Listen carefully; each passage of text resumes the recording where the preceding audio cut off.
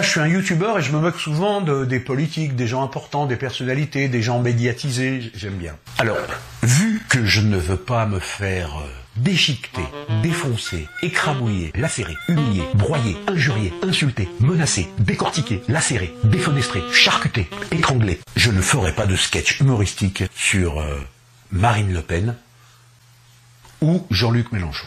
Non, parce que souvent, j'ai pas dit toujours, hein, mais souvent, quand tu fais une petite critique euh, et d'un côté ou de l'autre,